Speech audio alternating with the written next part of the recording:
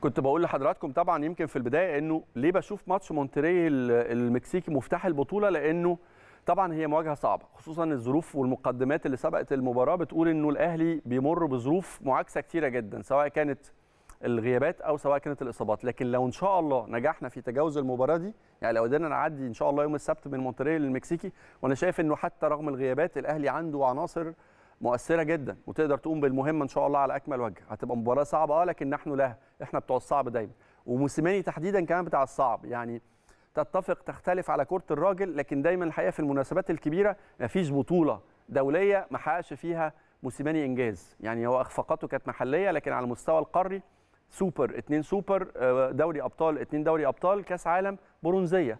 فالراجل دايما في المناسبات الكبيرة حاضر وبصمته واضحة. فنتمنى إن شاء الله لو عدينا من مونتري نقدر نكمل وخصوصا إنه هيرجع لنا عدد كبير جدا من اللاعبين. نرجع لسيزار ديلجادو نجم طبعا أولمبيك ليون والمنتخب الأرجنتيني وهداف مونتري السابق. كنت بسألك إنك لعبت قبل كده قدام النادي الأهلي في واحدة من نسخ كأس العالم للأندية. وتابعت الأهلي اللي توج أو فاز بالميدالية البرونزية في النسخة الأخيرة من كأس العالم للأندية. من وجهة نظر سيزار ديلجادو إيه الفرق بين النسختين من من فريق الأهلي؟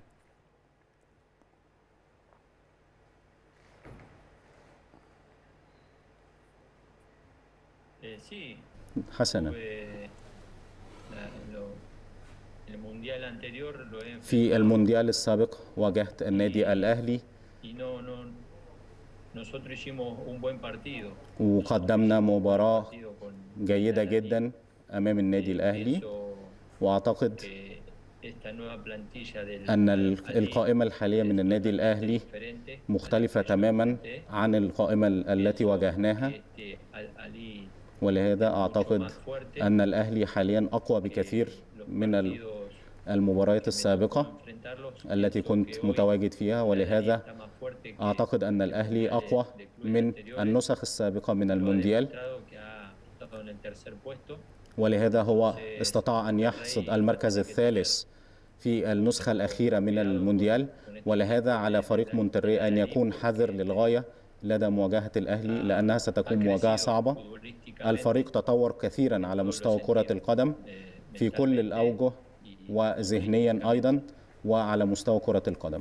طب لو اتكلمت معاك عن ملف المحترفين اللي بيلعبوا في صفوف مونتري والأهم والأبرز فيهم من وجهة نظرك؟ اللي ممكن تراهن عليهم طبعا في مواجهة النادي الأهلي.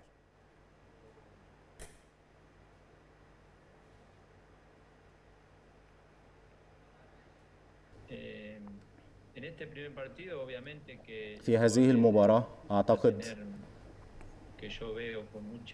أعتقد أن اللاعبين عليهم أن يكون هو اللاعب بيسارو هو الذي يجب الحذر منه.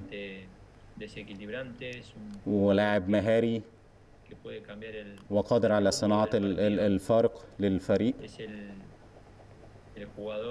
هو اللاعب هو اللاعب الأهم واللاعب ال...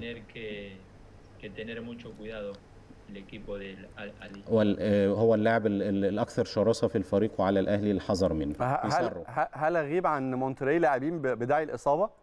يعني أنا المتأكد منها دوفان فيرجارا ده طبعا الجناح الأيسر. ده تأكدنا من إصابته وعدم قدرته على المشاركة في كأس العالم للأندية. هل في إصابات ثانية ممكن تمنع لاعبي مونتري من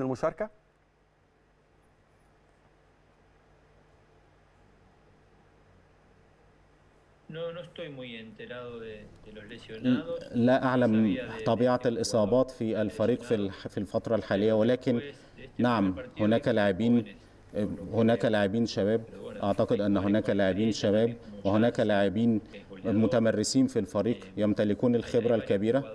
هناك لاعبين عديدين هيكونوا في في حالة جيدة. واعتقد أيضا أن فارق التوقيت من الممكن أن يؤثر على اللاعبين ولكني أعتقد أن اللاعبين سيكونوا في أفضل حالة بنيه رغم حالة الإرهاق. ولكن علينا علينا الحذر من الأهلي أيضا عليه الحذر من فريق مونتري لأنه فريق متمرس أيضا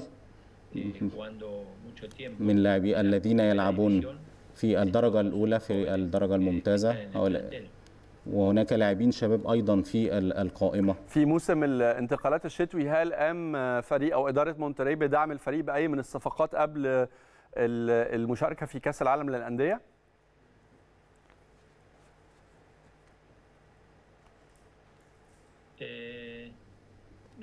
Mucho. لا.